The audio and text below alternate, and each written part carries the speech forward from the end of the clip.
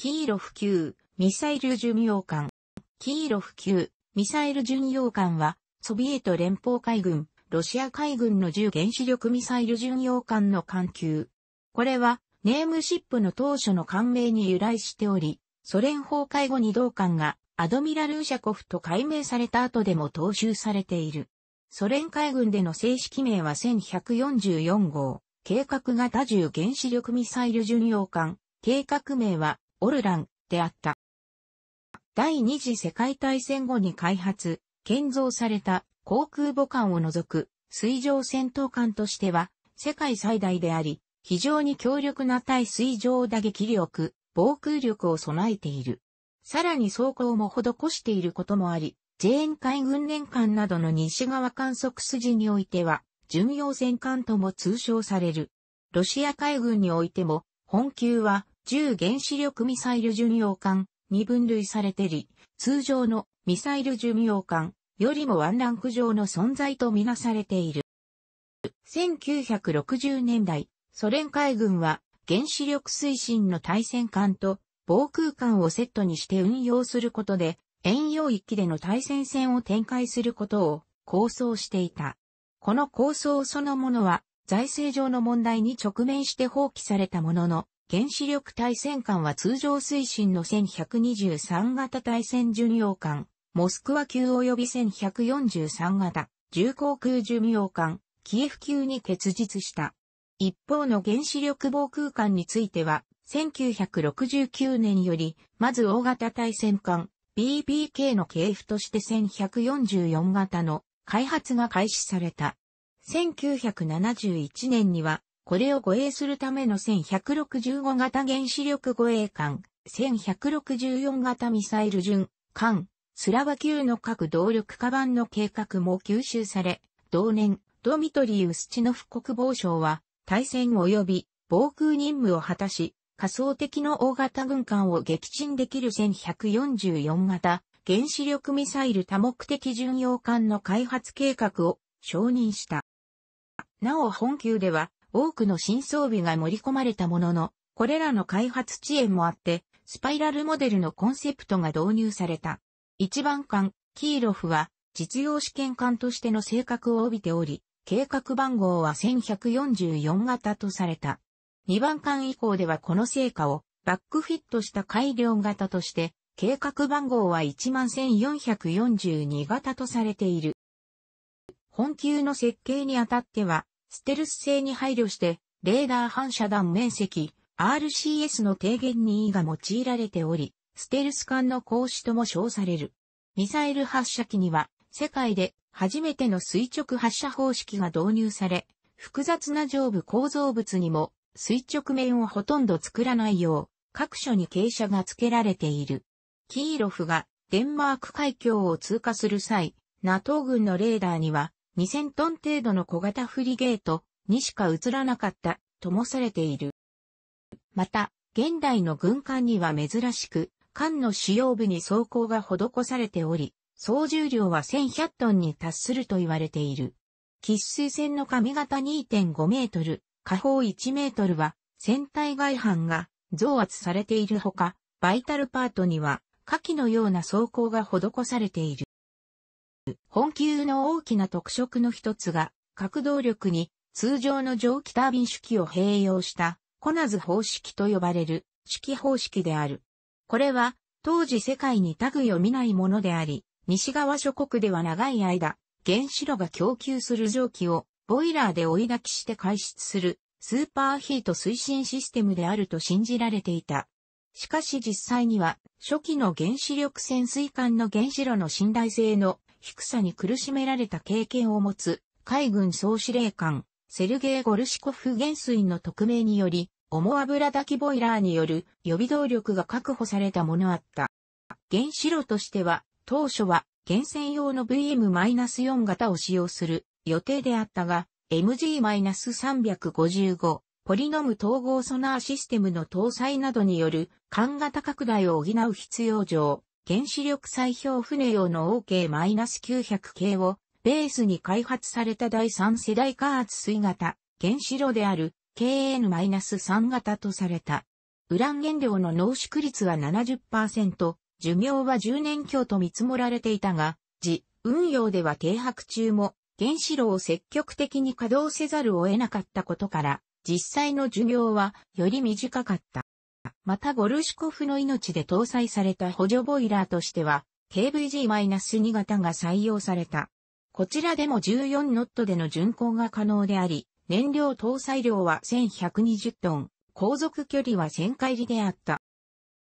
長距離捜索用の3次元レーダーとしては、1134A 型、クレスタ E 型以来の MR-600、ボスフォード、ナトー名、トップセールが踏襲された。一方、副レーダーとしては、従来採用されてきたアンガラーシリーズに変えて、新型の MR-710M、フレガート M、ナトー名、トッププレートが搭載されている。また4番艦以降ではさらに改良型の MR-750、フレガート MA に更新されており、これと MR-600 による統合システムはと呼称される。これらは1143型重航空寿命艦、キエフ級、1164型ミサイル巡洋艦、スラバ級と同系列の装備でもあった。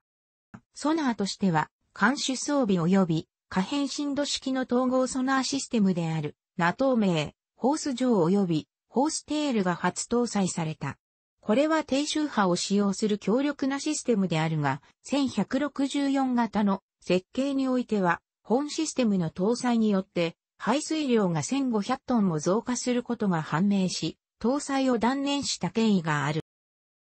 本級で最も特徴的な武装が P-700 グラニート艦隊艦ミサイルシステム NATO 名 SSN-19 シップレックである。これは最大 700km 各弾頭型という長射程を誇るが、このために発射重量7トンと巨大化していた。これは元来が949型原子力巡航ミサイル、潜水艦、オスカー型用に開発されたものであり、その垂直発射機、VLS はコスト低減のため、厳選用のものを流用して搭載された。しかしそのために、発射時には VLS に海水を注水する必要があり、これは戦闘起動中には致命的な速力低下を招く恐れがあった。またミサイルの大射程を活かすため、コレル型データリンクを含む 17K114 レゲンダ型衛星照準通信システムに連接されている。これは宇宙 ISR システムを含む非常に精巧な戦術レベル C4ISR システムであり、フォークランド紛争時には戦況を克明に中継することに成功して注目されたが、一方で実戦時における偵察衛星の生産性や衛星データリンクの高端性には疑義も指摘されていた。実際に湾岸戦争時に多国籍軍が展開した電子戦の影響によってカフカス地方の衛星照準、通信ステーションからの衛星通信に支障をきたした前例もあった。一方、艦隊防空ミサイル、 SAMシステムとしては、先行して計画された1164型ミサイル、巡洋艦、スラバ級と同じ S-300 フォールト、NATO名、 SA-N-6、グランブルが踏襲された。ただし、同型では、B-204 型8連装、VLS8 機と 3P41 型ミサイル、射撃式装置、GMFCS1 機が搭載されていたのに対し、本級では VLS は12機、GMFCS は2機に増強されている。また搭載するミサイルは順次に更新されており、1.2番艦は 5V55RM 型ミサイル、3番艦は 48N6E 型ミサイル、4番艦は 48N6E2 型ミサイルが用いられている。特に4番艦のシステムは全体に強化されていることから S-300FM、ホールと M、NATO 名、SAN-20、ガーゴイルと称されるが、これを搭載しているロシア軍艦は2013年現在では同艦のみである。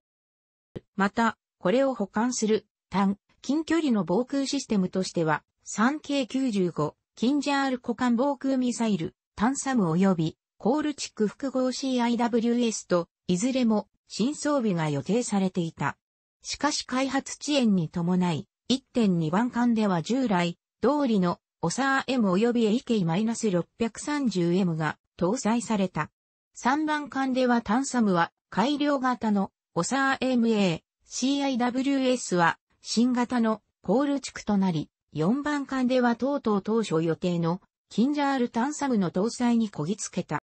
本級では、か -25、27、3機を収容できる強力な航空運用能力を備えている。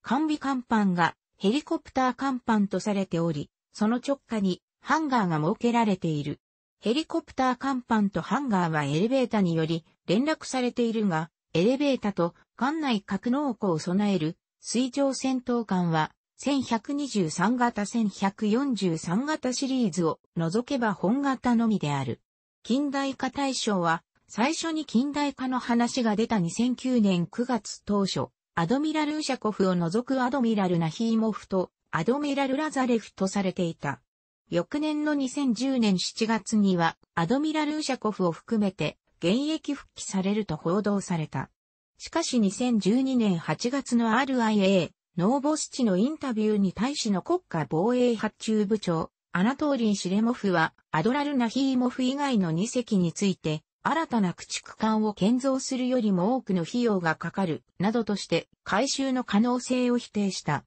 回収されるアドミラル・ナヒーモフは近代化改装を終えて復帰した30から40年間にわたり現役に止まるとされている。なお、唯一の稼働艦であるピョートル・ベリーキーについても、アドミラル・ナヒーモフの近代化が終わり、引き渡される2018年以降に修理と同様高度な近代化を実施する予定である。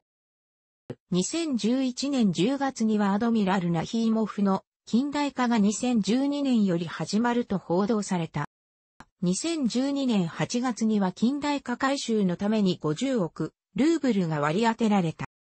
2013年6月にセブマッシュは近代化改装が2014年から開始されると発表し、すでにロシア国防省と近代化改修のための契約が締結されていることを明かした。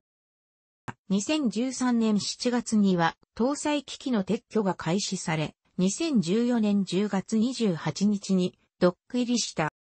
2015年6月10日にはエンジンの修復が開始され、8月28日には古い各種機器の撤去、解体作業が完了した。2016年1月には船体構造の点検が完了した。具体的な回収内容は OK-650B-3 原子炉への乾燥、蒸気タービンのリビルドで、主兵装の P-700 用の SM-233 は P-800 とカリブル NK に対応した 3S14 ユックスクに乾燥し、その他の兵装もそれぞれ S-300 回、ホールとは S-300FM、ホールと M、オサー MA は、キンジャール、コール地区は、パーンチリ M533mm 魚雷発射管話に乾燥する。AK-130 は 5P-10 が装備されることなどから A-190-100mm 砲あるいは 130mm 砲に乾燥されると見られている。また、電子機器として、プーマ放射撃式レーダー。MR-650 ポドベリョゾビクシグマ -11442 M 戦術情報処理装置を装備する。特に SM-233 から 3S14 の乾燥によりミサイル搭載数は20発から80発に増大するとされる。なお当初コール地区は、コール地区 M、S-300 回、ポールとは、ボリメントリドゥートに乾燥されるとされていた。また、ピョートルベリーキーの近代火事には新たにジルコン極、超音速ミサルが搭載される予定である。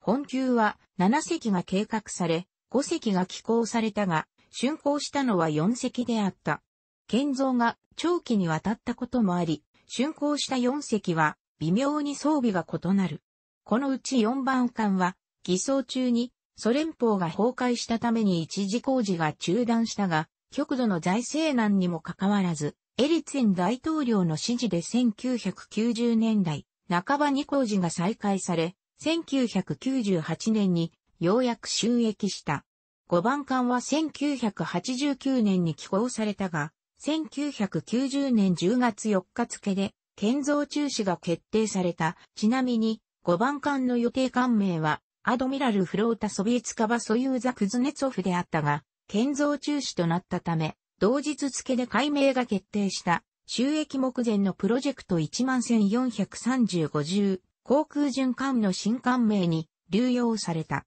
ソ連崩壊後の1992年5月27日、収益済みの3隻と偽装中の1隻は、ソ連邦時代の人名から、帝政ロシア時代の人名に改名された。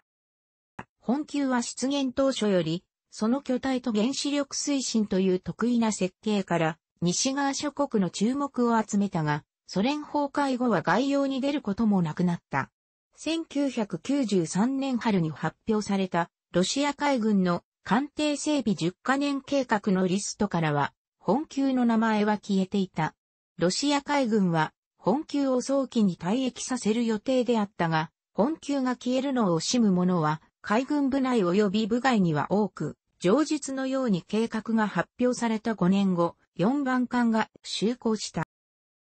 ソ連崩壊後のロシア海軍においても、21世紀初頭までは4隻すべてが艦隊に在籍していた。一番艦は1990年代末期に除籍され、そうになったのだが、重原子力ロケット巡洋艦アドミラルーシャコの修理と復帰のための事前基金が設立され、政治家への働きかけが行われた。その結果ロシアの連邦議会は待ったをかけ、一転して、除籍は認めず、修理して現役復帰させるべしという決議が採択されてしまった。一番艦の除籍は撤回されセベロドビンスク造船所に開港、修理待ち状態となった。しかし、結局、同艦の修理は行われずに除籍された。現在、稼働状態にあるのは、4番艦、ピョートルベリーキーのみとなっている。ピョートルベリーキーは北洋艦隊の機関であり、インド海軍と演習を行ったり、ソマリア沖の海賊に対処のために出動するなど、比較的頻繁に活動している。2009年、ウラジーミル・ポポフキン国防次官は、ロシア国防省がアドミラール・ラーザリエフとアドミラール・ナヒーモフを近代化改装した上で、復帰させることを決定したと述べた。2011年には、ロシア国防省が保管中の3隻を大規模な近代化の上で現役復帰させることを検討中だと報じられた。こうした本級の復帰の動きには近年急激に外洋海軍化しつつある中国人民解放海軍への警戒感が背景にあるとされている。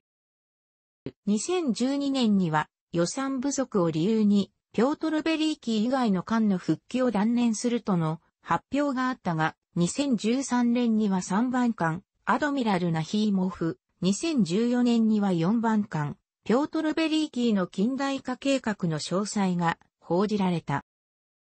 北方艦隊所属。ソ連崩壊後の新艦名はアドミラルーシャコフであった。1990年、推進機事故を起こして予備役編入。その後、セベロモルスク基地に係留されていたが、1990年代末にセーベロドビンスク市に開港され、修理を行う予定であったが結局断念。除籍されて、ピョートルベリーキーの部品取りのためにレードアップされた。2004年9月、同館の解体工事が感染修理交渉、ズベズ道地下に4、0ドルで発注されたと伝えられたが、実際には解体工事に着手されず、誤報であった。アドミラルーシャコフの名は2004年6月、ソブレメンヌイ級駆逐艦、ベスストラーシュヌイに受け継がれた。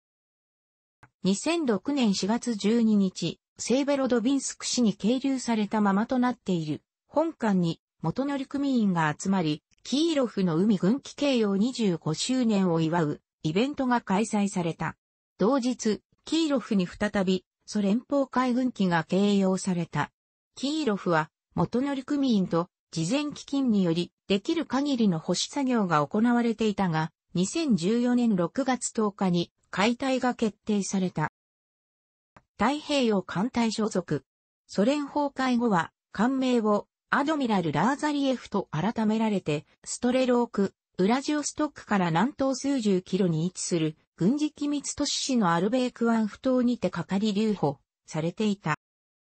1993年に小事故を起こした際、原子炉が緊急停止された。原子炉の再起動には、艦隊司令官の許可が必要だったのだが、当時、太平洋艦隊司令部は、不祥事が相次いで司令官をはじめとする司令部用が頻繁に交代しており、誰もそこまで気にかける余裕がなかったため、再起動命令が出されないまま時間が過ぎ、現在に至る。原子炉が停止した後、グリーンピースの D ヘンドラーが同基地のラーザリエフを視察し、この間の原子炉は蒸気発生器が老朽化し、原子炉の再起動手順を知っている。専門家がいないため、原子炉を再起動できないなどという結論を下したことがあった。